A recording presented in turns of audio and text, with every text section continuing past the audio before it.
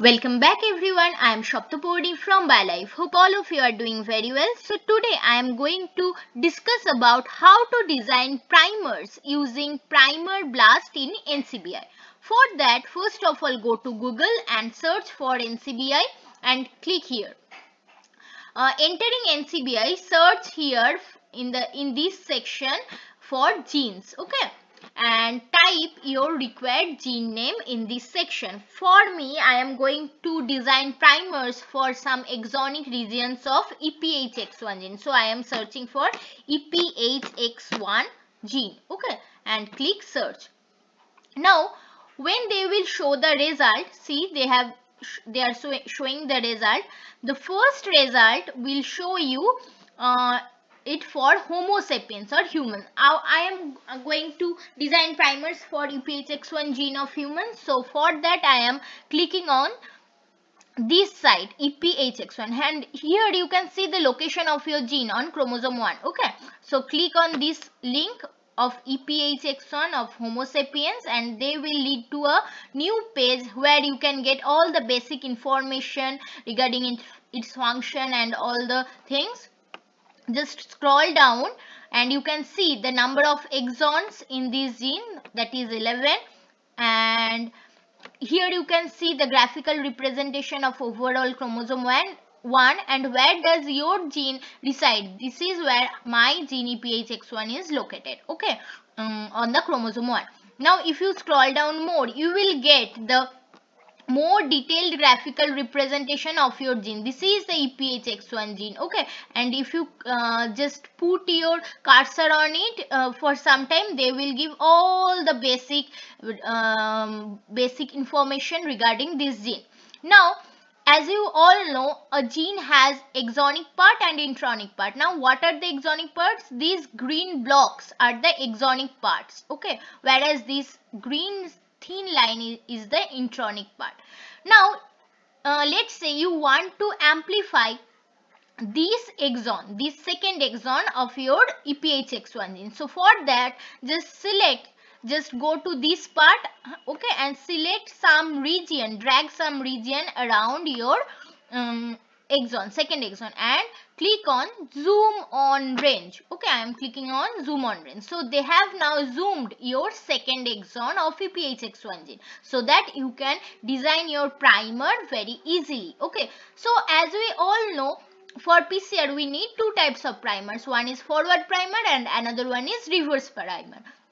So for uh, designing forward primers select some regions uh, before starting of the exon. Okay just this region and uh, do keep some gaps between uh, your required primer sequence and your uh, exonic part or gene sequence. Okay now i am selecting this region. Now press control and now select some region for designing your reverse primer. So i am um, i am selecting this region for reverse primer sequencing. Now go, go to the now click on here and now just keep your uh, mark, uh, cursor on this range and select for primer blast. Okay.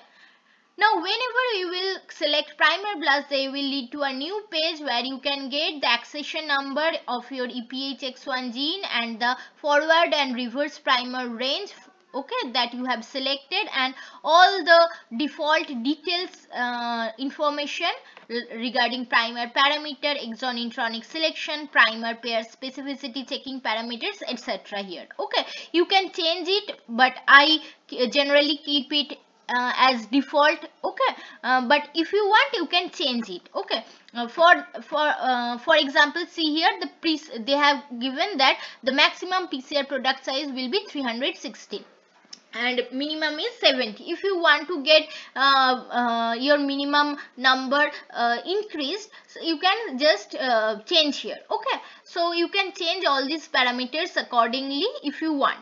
Uh, you can also change advanced parameters but i am not changing anything. I am uh, just clicking right to the get primers. And when you will select get primers they will open a new window and they will design 10 primers for you okay? And generally the first one is suitable. But this process will take some time like 4 to 5 minutes okay? Um, after that we will see all the primers okay? That the primer blast have designed NCBI have designed for you okay? So let's see how much time does it take okay? Already 32 second okay. Now they have given you the results. Okay. And here you will get the graphical view of your primer pairs. The details will be shown. Okay. See here.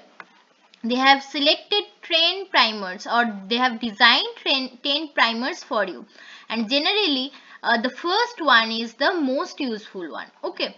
Um, generally we select the first one. Okay but let's see. These are the 10 pairs of primers that they have designed for you. And in each pair you will get the sequence of forward primer then the sequence of reverse primer. Okay. Then there obviously the forward primer is uh, plus strand and the reverse one is minus strand the length of both the primers 20 22 you can see the starting position of the primer for from 744 to 763 like that and stop position. Okay. And now this is the important position tm the melting temperature. You you can see the melting temperature for primer one is 60.84 and for reverse primer is 59.77 so um, just average these two and you will get your pcr melting temperature okay? The annealing temperature sorry then the GC content as we all know uh, the GC content between 40 to 60 is a good indicator of any primer because as much as your GC content that means the primer annealing will be more um, stable. Okay as we all know uh, GC bond is more stable than AT bond. Okay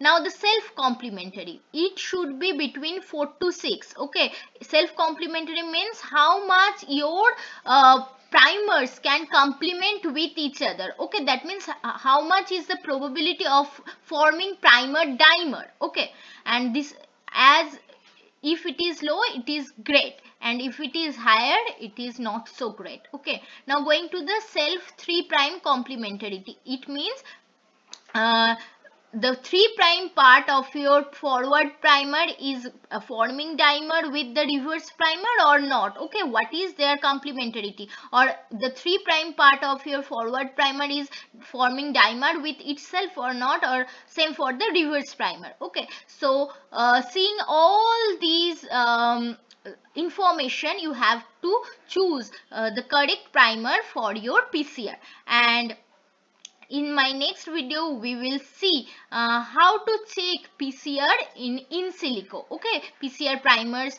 amplification in in silico so for today i hope this video will be useful for you. If you find this video useful don't forget to hit the like button and share it with your friends. And for more such videos don't forget to subscribe to my channel. Thanks for watching and happy learning